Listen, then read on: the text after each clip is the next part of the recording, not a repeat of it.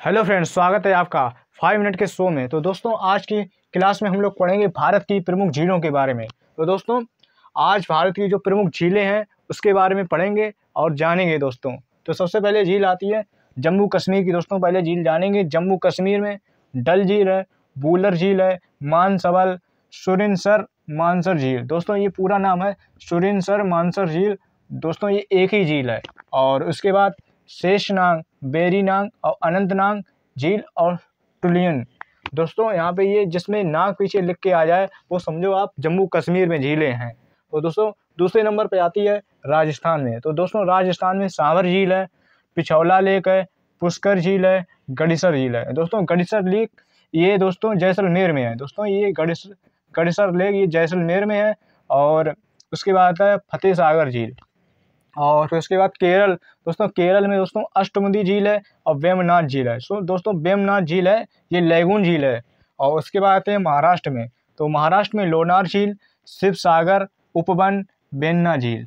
और उसके बाद हैं मणिपुर में। तो दोस्तों, मणिपुर में लोकटक झील है और यहीं पे दोस्तों एक मार्च तक तैरता हुआ जो राष्ट्रीय उद्यान है केविल लामजाओ तो दोस्तों, इसी झील के ऊपर है और इसके बाद हैं उड़ीसा। दोस्तों उड़ीसा में दोस्तों चिल्का झील है और ये दोस्तों भारत की सबसे बड़ी लेगून एवं खारे पानी की झील है।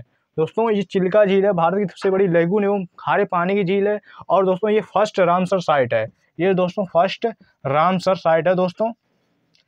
जो चिल्का लेक है, ये फ़र्स्ट रामसर साइट है और उसके बाद आते हैं तमिलनाडु। दोस्तों, Tamil Nadu, Ooty lake, Berijam lake और कोडाई कोनाल झील।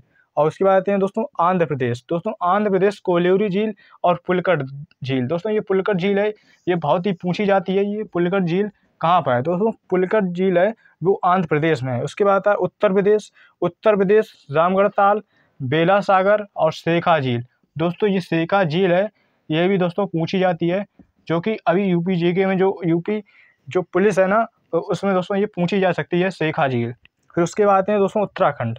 दोस्तों, उत्तराखंड में सबसे पहले आप जान लेना, जहाँ पीछे ताल लगा हो तो नाइन्टी परसेंट उत्तराखंड में ही होती है झील। तो देखते हैं दोस्तों भीमताल नैनीताल सात ताल, डोडी ताल, माला ताल और खुरपा ताल। दोस्तों, ये उत्तराखंड में है। उसके बाद लास्ट आता है तेलंगाना। तेलंगाना में दोस्तों, हुसैन सागर है। दोस्तों, ये हुसैन सागर तेलंगाना में है।